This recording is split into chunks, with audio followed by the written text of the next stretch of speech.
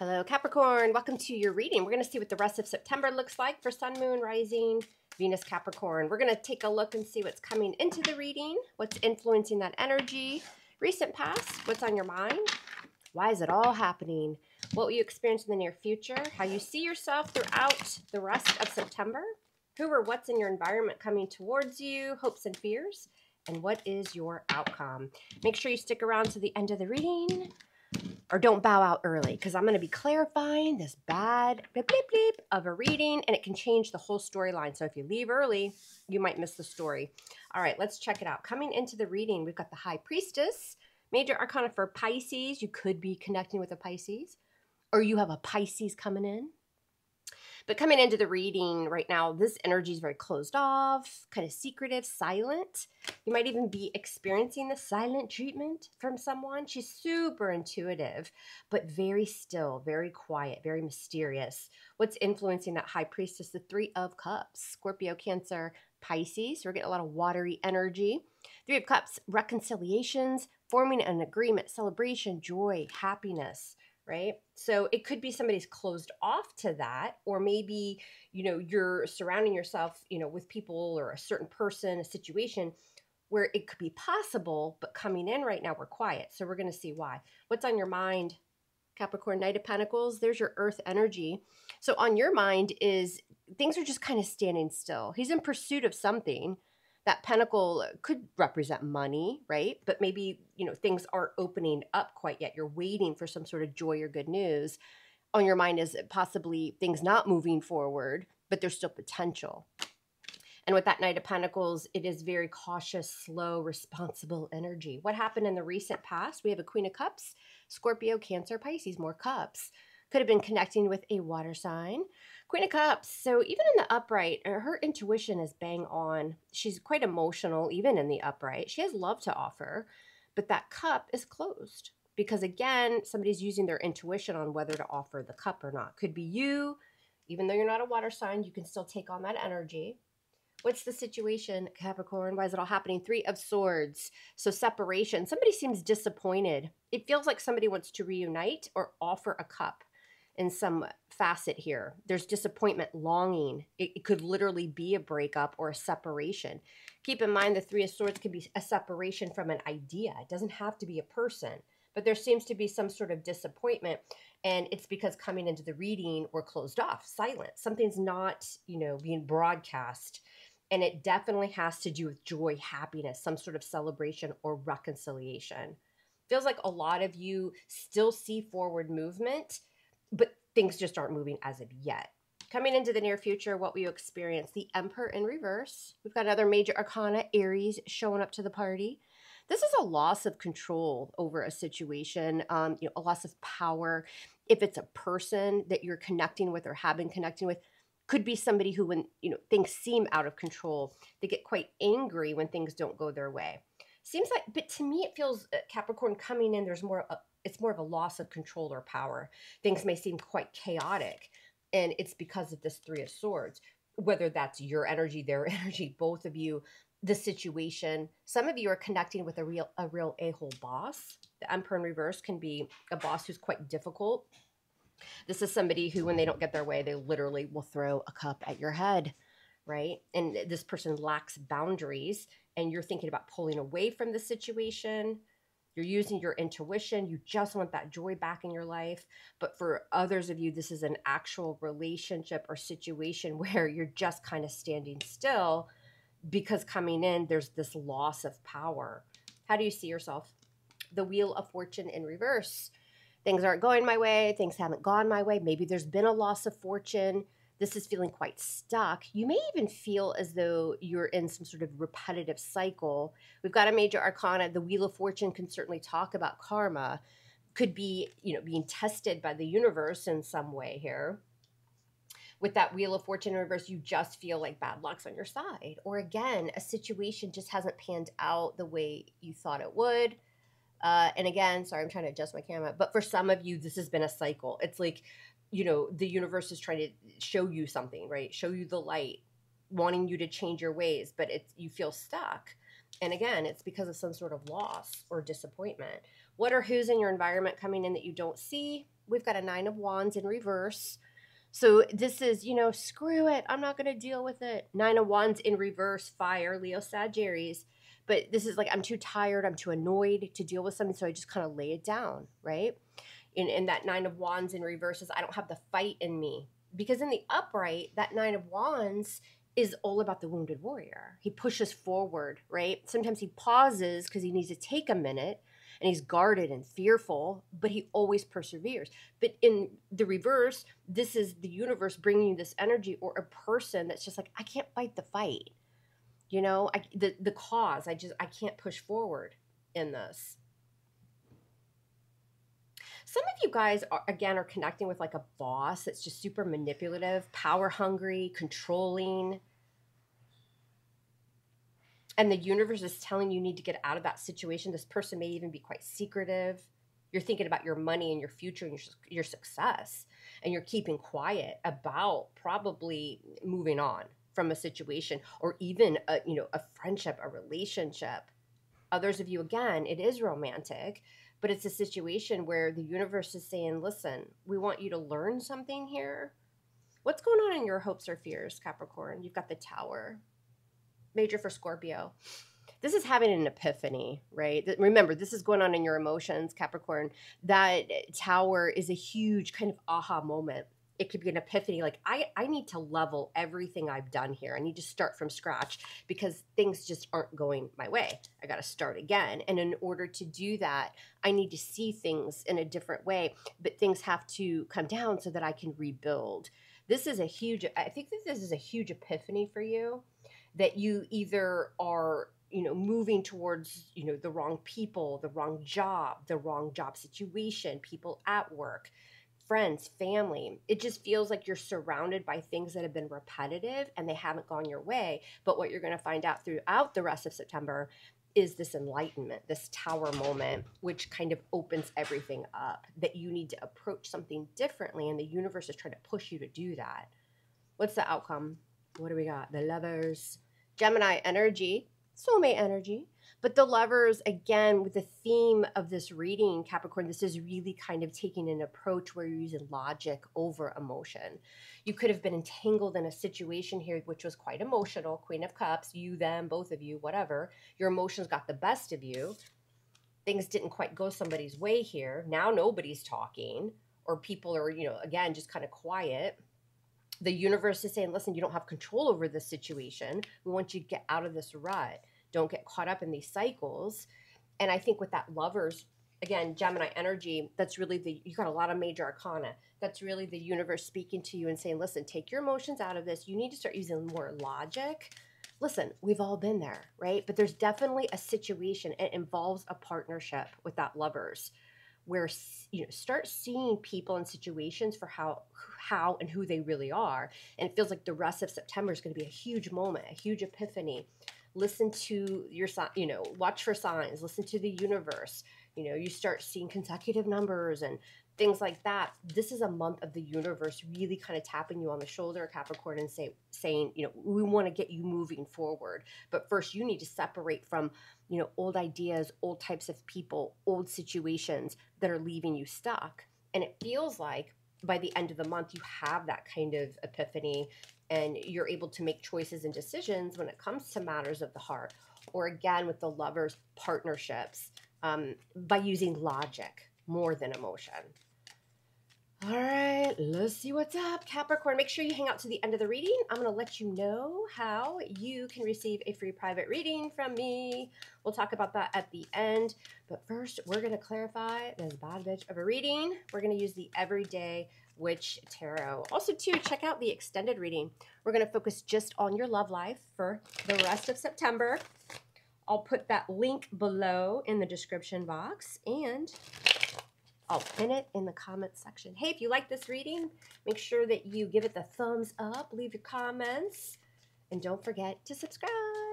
All right, let's do it. Everyday Witch Tarot. What else does Capricorn need to know for the rest of September? Coming in, we've got the High Priestess. What's this about?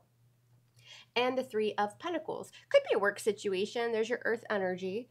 Again, we've got a couple threes showing, which it's not just third party. The threes are talking about forming an agreement, teamwork, being on the same page here. Now, since this is Pentacles, you are an earth sign, maybe coming into the reading, somebody's closed off to that, or there's like this silence between you and someone. Again, it doesn't have to be love, but there's this energy with the Three of Pentacles of somebody still wanting to work on this, to come together, to be on the same page. Three of Pentacles, the sun, to have some sort of happiness, joy, positivity, and change feels like you experienced that here with someone. That's why this Three of Cups is influencing this energy, wanting to heal a situation and find that joy and happiness again. And for some of you, that's with, you know, doing a job that you love, but you're dealing with Emperor in reverse. Why is the Three of Cups influencing this? The Ten of Pentacles in reverse.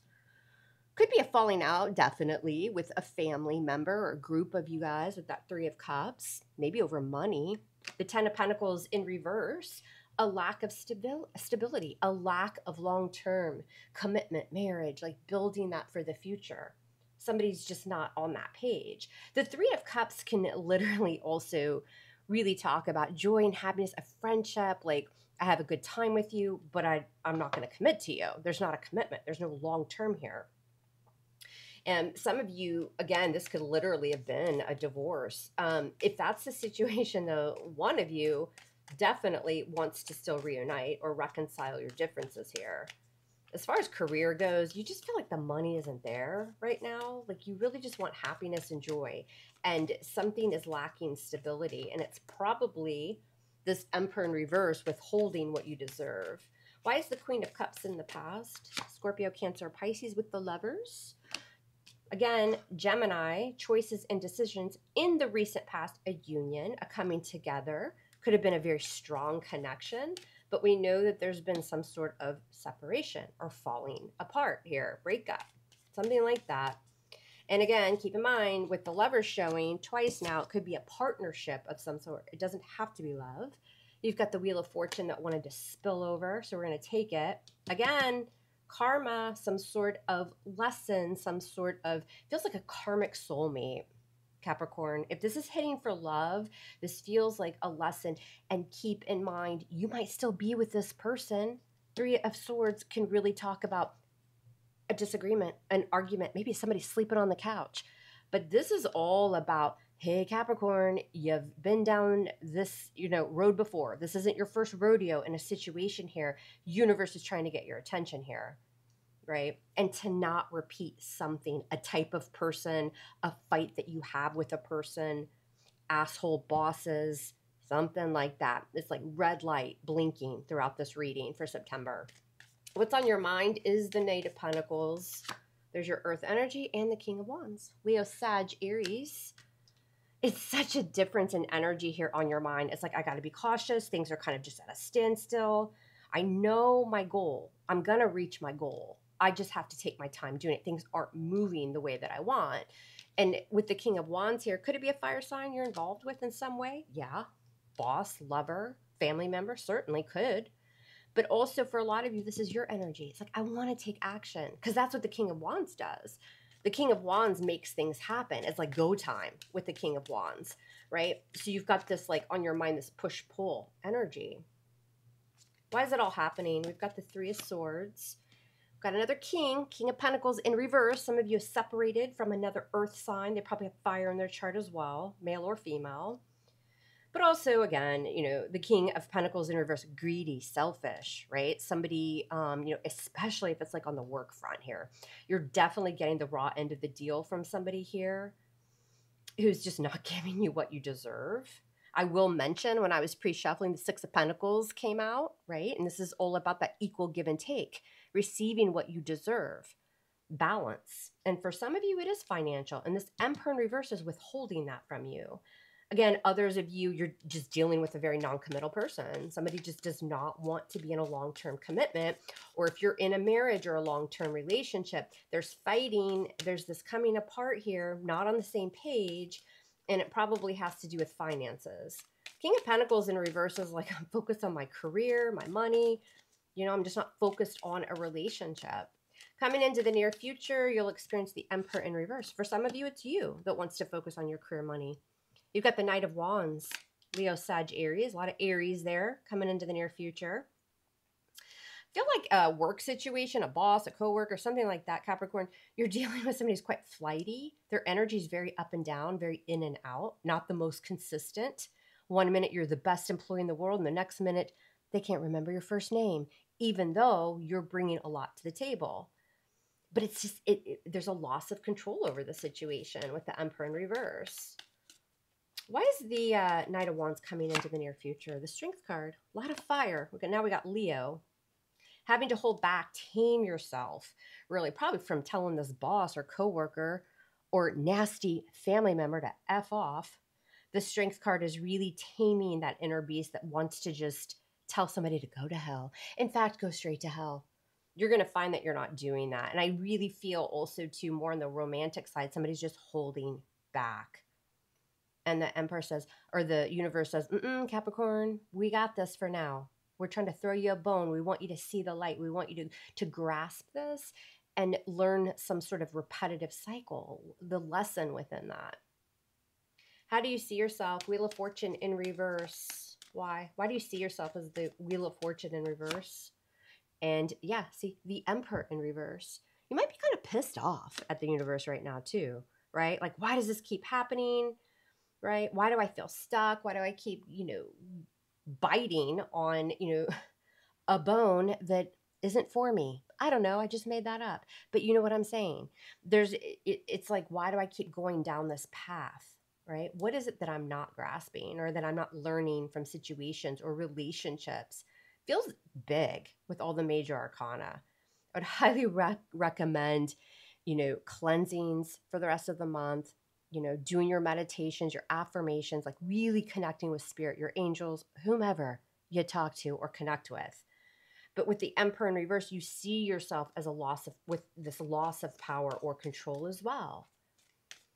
Who or what's in your environment coming in? Nine of Wands in reverse with the Eight of Wands, Leo, Sag, Aries. People see the Eight of Wands and they automatically think, oh, communication, the arrows of love. And it certainly can be. But on that Nine of Wands in reverse, we have to keep in mind this Eight of Wands is also travel forward quickly. The energy is picking up, it's a release, right? And you're able to move forward. Why? Well, because coming in external to you with that Nine of Wands in reverse is okay, I see this, I can release this energy. I don't have to push forward. I don't have to be the wounded warrior. If it's not working for me, I can just lay it the F down and I can manifest in a new direction. So it's like a little bit heavy through here, having some sort of enlightenment, the universe tapping you on the shoulder and saying, Capricorn, it's time to get moving, move forward, right? And we're going to help you.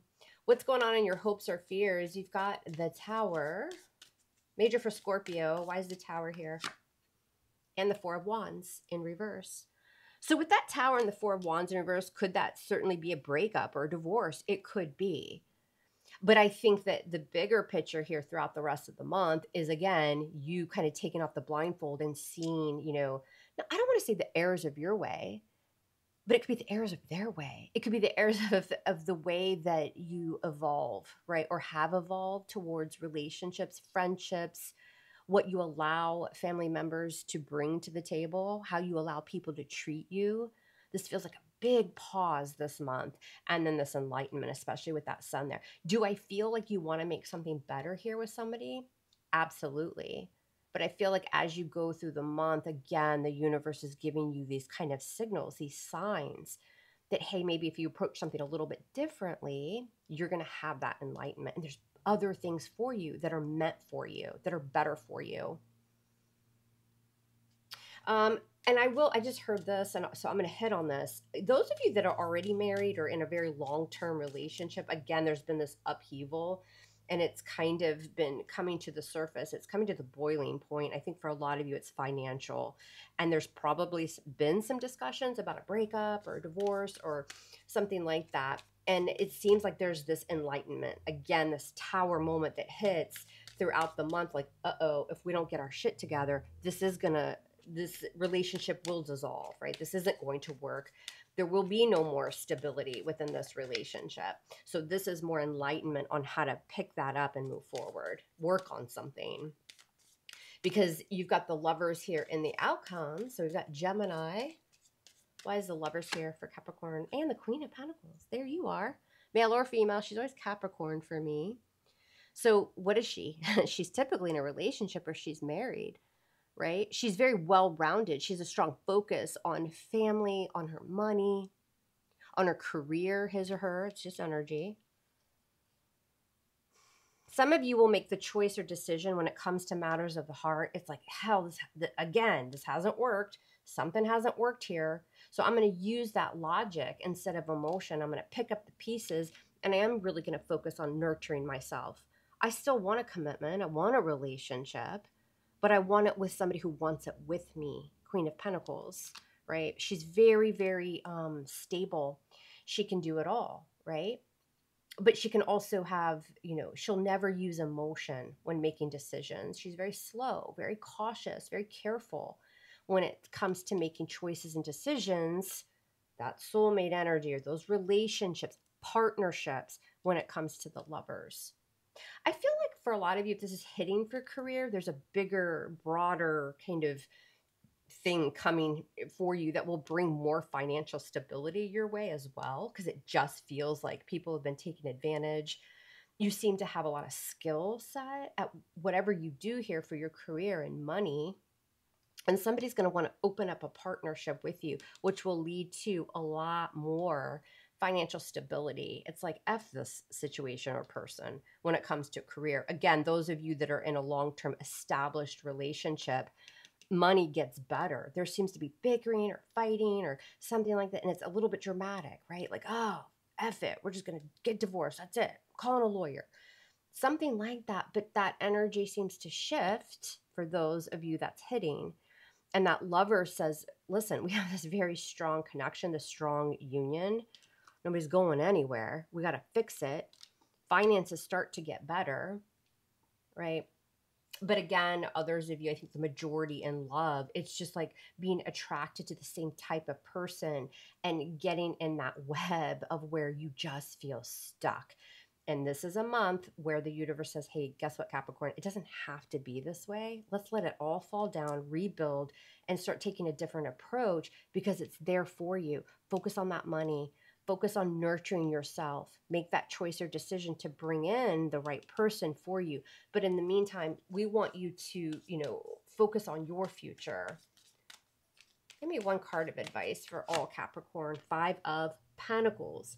Feeling like when's it going to be my turn right? Like i feel shut out. I feel like everybody's you know got somebody got the perfect relationship with me. Why do i keep being drawn to the wrong type of person or the wrong people in general. It can even be a group of friends, right?